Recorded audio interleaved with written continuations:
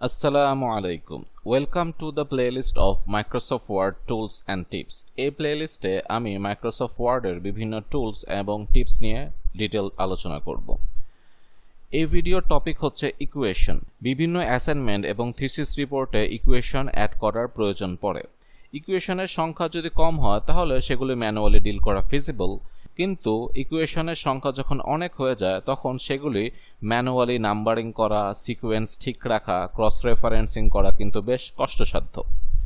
এই ভিডিওতে আমি দেখাবো কীভাবে ইফিশিয়েন্ট ওয়েতে ইকুয়েশন লেখা যায়, সেগুলি অটো নাম্বারিং করা যায় অটো ক্রস রেফারেন্সিং করা যায়, যাতে দুটি এক্সিস্টিং ইকুয়েশনের মাঝখানে আপনি যদি নতুন করে ইকুয়েশন অ্যাড করেন, তাহলে বাকি ইকুয়েশনগুলি আপনাকে আর মডিফাই করতে হবে না, বরং সেগুলি অটো আপডেট হয়ে যাবে।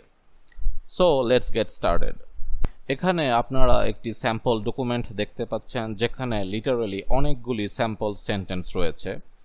আমি এই ডকুমেন্টের হেল্প নিয়ে আজকের ইকুয়েশন টপিকটা কভার করব। এক্সাম্পল হিসেবে ধরে নিলাম যে আমি এই পয়েন্টে একটি ইকুয়েশন অ্যাড করতে চাই। সো আপনাদেরকে আমি গোড়া থেকে শেয়ার করতেছি যে কীভাবে আমি কাজগুলো করতেছি। আমি শুরুতে একটা টেবিল নিলাম, যেখানে আমি একটাই রো এবং একটাই কলাম ইনক্লুড করলাম। এখান থেকে আসলে আমি কিছু ইনফরমেশন এক্সট্রাক্ট করব।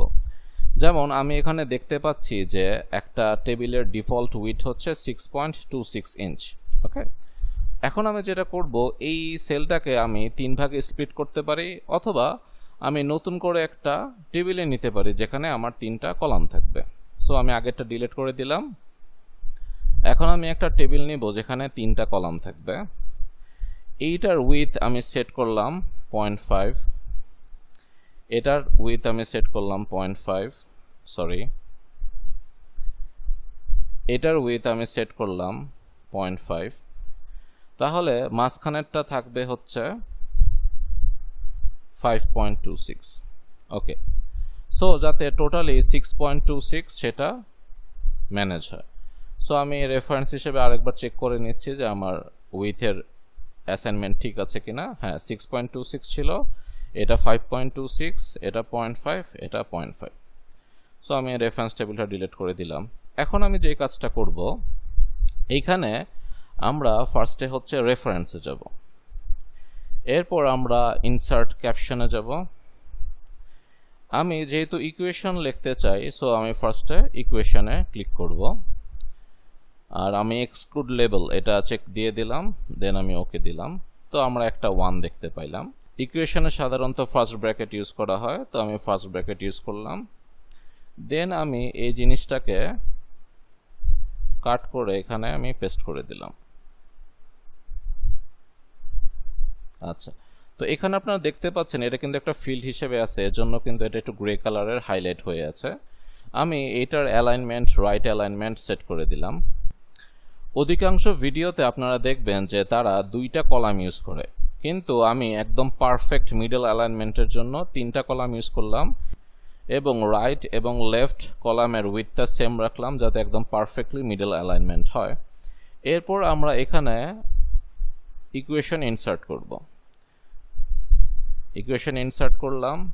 ওকে আমরা যদি উপরে এবং নিচে একটু হাইট রাখতে চাই, একটু গ্যাপ রাখতে চাই, তাহলে আমরা লেআউটে গিয়ে বিফোর থ্রি আফটার থ্রি দিব। তাহলে এখানে একটু স্পেস ক্রিয়েট হবে এবং দেখতে ভালো লাগবে।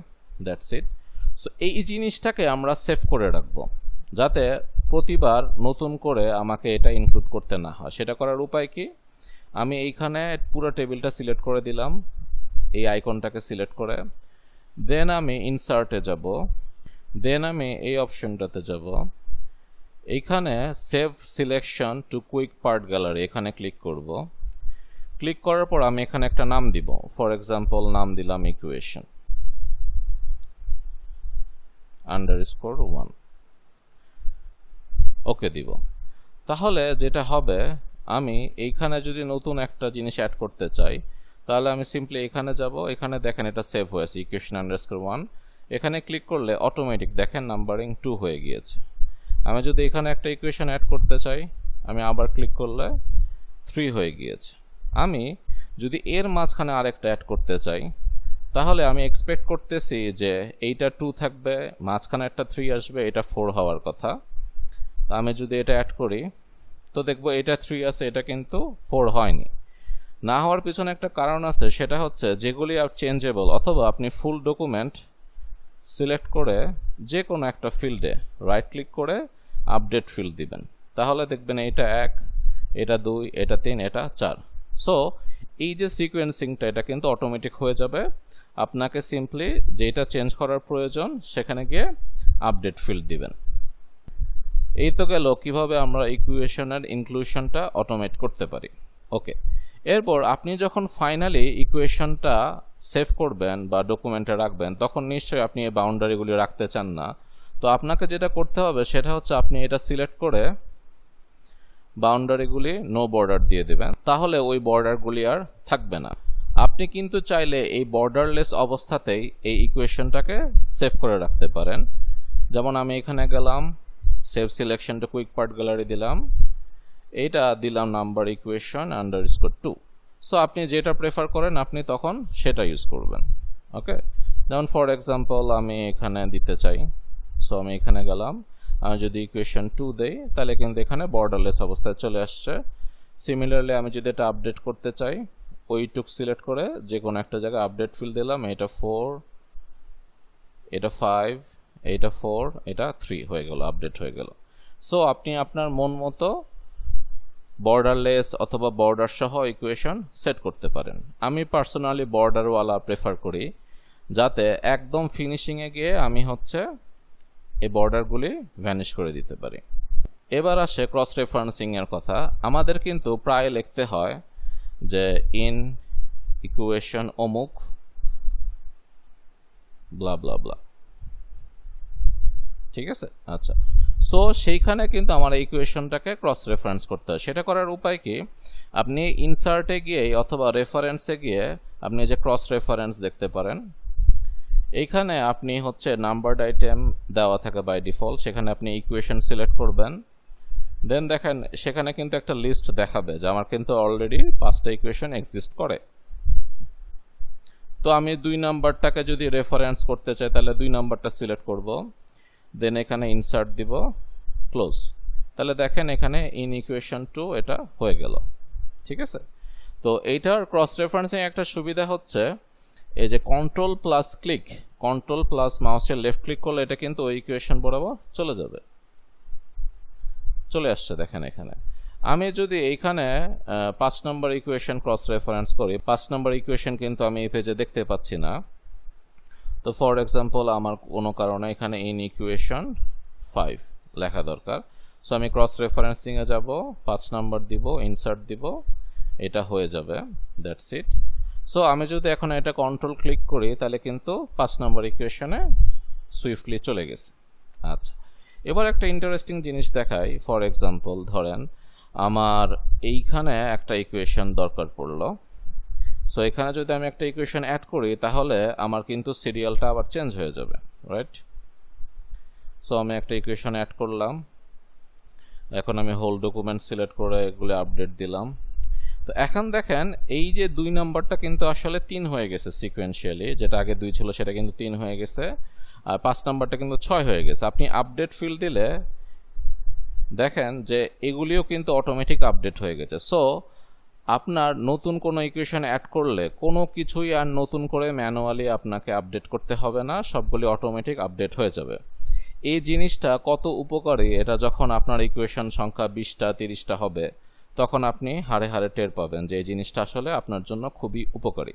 এবার আসি আমরা কীভাবে একটা ইকুয়েশন এফিসিয়েন্টলি লিখতে পারি। তার জন্য আমি জাস্ট একটা ইকুয়েশন রাখতেছি, আগের সবগুলো আমি ডিলিট করে দিলাম।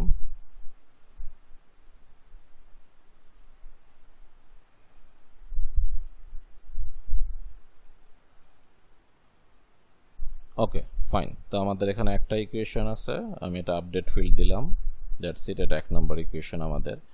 সো ইকুয়েশনে আপনি কিন্তু জাস্ট কিবোর্ড ইউজ করে আপনি যে কোনো কিছু লিখতে পারেন। For example A X plus B minus C equal to zero okay আপনি যদি গ্রিক অ্যালফাবেটগুলি ইউজ করতে চান, তাহলে আপনি ইনসার্ট ট্যাবের আন্ডারে যে ইকুয়েশন দেখতে পাবেন, সেখানে গেলে আপনি কিন্তু বিভিন্ন গ্রিক লেটারের লিস্ট দেখতে পাবেন। ঠিক আছে? তো এগুলি বারবার এই ইকুয়েশন মোডে গিয়ে ক্লিক করাটা কিন্তু বেশ টাইম কনজিউমিং সো আপনি গ্রিক অ্যালফাবেটগুলি কিন্তু এছাড়াও আর একটা শর্টকাট ওয়েতে লিখতে পারেন। সেটা কি জিনিস? সেটা হচ্ছে, আপনি যদি ব্যাকস্ল্যাশ দিয়ে আলফা লেখেন, তারপর স্পেস দেন, তাহলে কিন্তু আপনি আলফা পেয়ে যাবেন। ঠিক আছে? আচ্ছা ইনটু সিম্বল হিসেবে অনেক জায়গায় অ্যাস্টারিস্ক ইউজ করলেও আমাদেরকে কিন্তু রিপোর্টে ওই মাল্টিপল সিম্বল ক্রসের মতো যেটা, সেটা ইউজ করাটাই প্রেফারেবল সেটা লেখার উপায় কি? আপনি যদি ব্যাকস্ল্যাশ দিয়ে টাইমস লেখেন, তাহলে কিন্তু ওই মাল্টিপল সিম্বলটা চলে আসবে। ক্লিয়ার ওকে এছাড়াও আপনার যদি বিভিন্ন ফরম্যাট ইউজ করা লাগে, সেগুলি আপনি এখান থেকে ইউজ করতে পারেন। যেমন এখানে ফ্র্যাকশন স্ক্রিপ্টের আছে। আমি যদি সুপার স্ক্রিপ্ট ইউজ করতে চাই, তাহলে আমি টু দি পাওয়ার টু লেখলেই স্পেস দিলে স্কোয়ার হয়ে যাবে। আবার আমি যদি সাবস্ক্রিপ্ট লিখতে চাই for example R subscript A, তাহলে আন্ডার স্কোর দিয়ে এ দিয়ে স্পেস দিলে সেটা হচ্ছে সাবস্ক্রিপ্ট হয়ে যাবে। সো এই সুপার স্ক্রিপ্ট এবং সাবস্ক্রিপ্ট কিন্তু আমাদের অনেক ক্ষেত্রে ব্যবহার করতে হয়। সো আমি যদি এখানে ক্লিক করে করে লিখতে চাই, তাহলে কিন্তু এটা অনেক টাইম কনজিউমিং শুরুতে আপনাকে ফার্স্ট এটা আনতে হবে, তারপর এইখানে এক্স লিখতে হবে, এখানে টু লিখতে হবে। তো দেখেন, এটা কিন্তু অনেক টাইম কনজিউমিং তার থেকে Y to the power two. এটা দিলে কিন্তু অনেক ফাস্ট আপনি ইকুয়েশনটা টাইপ করতে পারবেন। এখন আমি আপনাদেরকে আরেকটা জিনিস দেখাবো যে আপনি যদি সেন্টেন্সের মাঝখানে কোথাও কোনো সিম্বল ইউজ করতে চান, অথবা আপনি জাস্ট এই আর এ এই সিম্বলটাই লিখতে চান, তাহলে আপনি কিন্তু ইনসার্টে গিয়ে ইকুয়েশনে গিয়ে, আর সাবস্ক্রিপ্টে এটা লিখতে পারেন। ওকে আপনি যদি ইকুয়েশন মোডটা অ্যাক্টিভেট করতে যান, আপনাকে কিন্তু ইনসার্ট ইকুয়েশনে যাওয়া লাগে। এর কিন্তু একটা শর্টকাট কি আছে। সেটা হচ্ছে, আপনি এখানে মাউস রাখলে দেখতে পারবেন অল্টার ইকুয়াল টু অর্থাৎ কিবোর্ডের অল্টার এবং ইকুয়াল টু যেই বাটন আছে, সেগুলি সাইমultaneously প্রেস করলে আপনার ইকুয়েশন মোড অ্যাক্টিভেট হয়ে যাবে। ফর এক্সাম্পল আমি alt plus equal to press করলাম, এখানে ইকুয়েশন মোডটা অ্যাক্টিভেট হয়ে গিয়েছে। এখন আপনি মন মতো ইকুয়েশন এখানে টাইপ করতে পারবেন।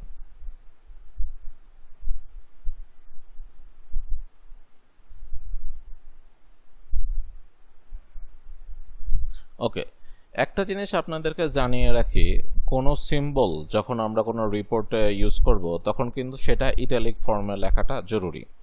অর্থাৎ সিম্বলগুলিকে ইটালিক ফরম্যাটে লিখতে হয়।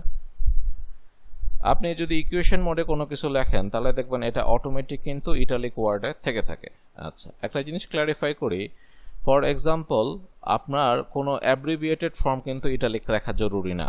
For example material removal rate এটার সংক্ষিপ্ত রূপ হচ্ছে এম আর আর সারফেস রাফনেসকে আমরা আর এ দিয়ে ডিনোট করি। তাহলে আর এটা সিম্বল কিসের সিম্বল সারফেস রাফনেসের সিম্বল এই সিম্বলটাকে ইটালিক ফরম্যাটে লেখা হচ্ছে জরুরি।